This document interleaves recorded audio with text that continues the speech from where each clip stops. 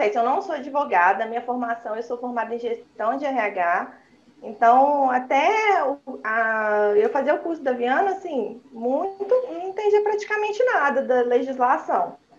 É, básico mesmo, eu comecei a aprofundar na questão da legislação de licitação, de contratos, de vendas públicas com o curso da Viana. Então, é questão do governo não pagar. O governo paga, sim, porque está na legislação, né? Está lá nas leis de diretrizes orçamentárias, ele é obrigado a pagar por lei. Se ele, se ele fez um processo licitatório, se ele empenhou, é porque ele tinha que ter um recurso, né? Ele não poderia fazer isso sem ter um recurso. Né? Mas quando eu vi no curso, né?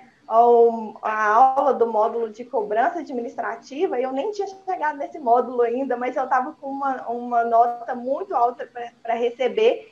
E assim, já estava todo mundo desesperado aqui na empresa, porque o valor é muito alto. Então, Qual era o valor, empresa, Daiane? Era 810 mil reais. 810 mil reais, ótimo. A gente atendeu esse processo, entregou direitinho, era um equipamento, e aí a gente foi fazer a cobrança. Aí eu fui falei com ela, olha, eu vou ter que te mandar uma notificação de cobrança, porque a gente está precisando muito desse dinheiro e assim, eu não posso trabalhar sem uma previsão de pagamento. Aí ela foi, falou assim, ai, manda, tipo, sem dar muita importância, né? Ah, pode mandar, não tem problema não. Aí eu fui lá, assisti o módulo, assisti umas três vezes, peguei o modelo, fiz direitinho, né, citando todas as questões de ordem pública, de, de direito administrativo, é, coloquei o dia que eu tinha cobrado, coloquei todos os dados do processo, tudo direitinho.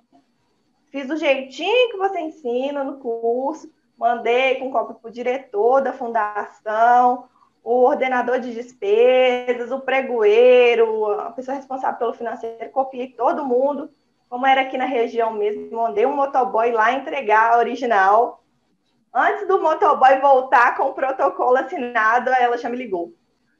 Nossa, eu recebi. Eu vou te pagar. É, você me dá um prazo, por favor, porque eu vou te pagar.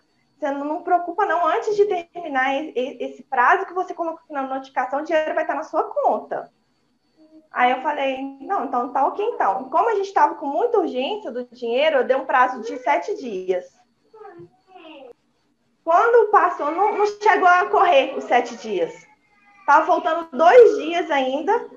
Ela me ligou e falou assim: é, o dinheiro já, o depósito já foi feito, tá?